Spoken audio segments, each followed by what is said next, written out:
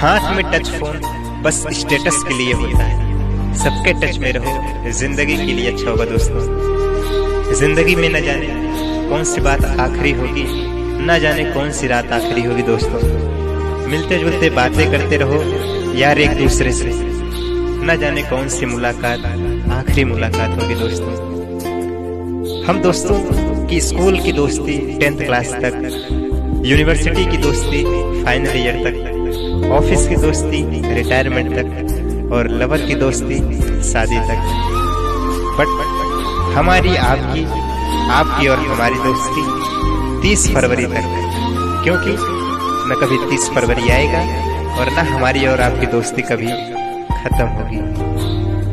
ये मैसेज उन दोस्तों को भेजना दोस्तों, जिनका साथ आप पूरी ज़िंदगी भर नहीं छोड़ना चाहते।